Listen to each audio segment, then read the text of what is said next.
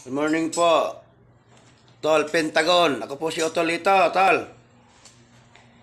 Ah, ito po yung kutsilyo. Ito po yung mutya ng tubig. Eh, susubukan ko ngayon kung totoo.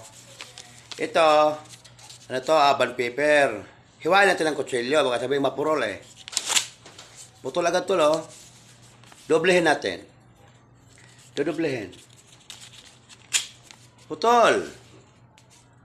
Eh, medyo ginanon lang. Putol agad ano. Ito naman, muti ng tubig. Wala nang dasal-dasal yan, tol. Ay, ito. Kung masugatan ako, eh, ospital.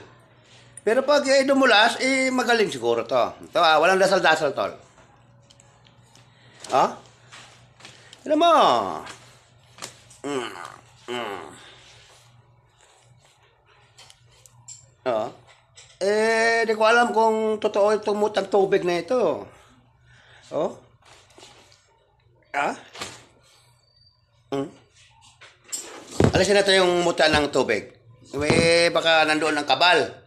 Subukan natin, baka sakaling mas masugatan. Ayaw tol eh. Ayaw talaga. Matigas. Sabagay kasi may baon kasi akong muti ang tubig. Good morning po mga utol. Si Otolito po ito.